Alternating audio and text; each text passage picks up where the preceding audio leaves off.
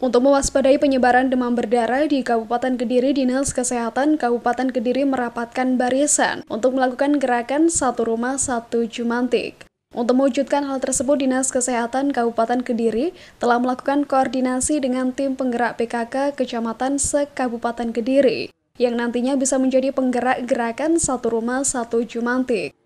Sekretaris Dinas Kesehatan Kabupaten Kediri Bambang Triyono Putro mengatakan, jika dibandingkan dengan tahun lalu, kasus demam berdarah saat ini mengalami penurunan. Namun begitu, Dinas Kesehatan tidak mau menurunkan kewaspadaan karena jika tidak waspada bisa mengalami peningkatan kasus di tahun depan.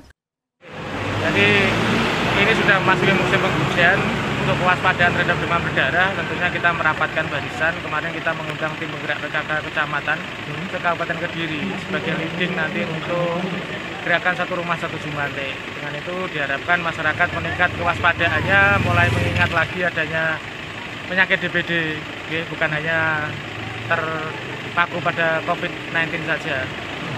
Kalau upaya-upaya saat ini untuk fogging sudah ada dok?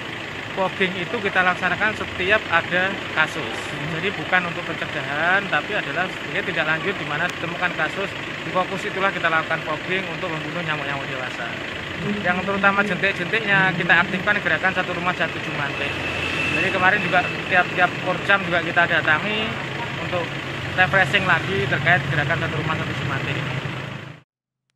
Dr. Bambang menambahkan saat ini di Kabupaten Kediri tercatat 300 kasus demam berdarah. Jumlah tersebut masih terbilang rendah.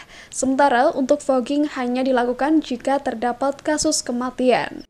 Dari Kediri, tim baca ini melaporkan.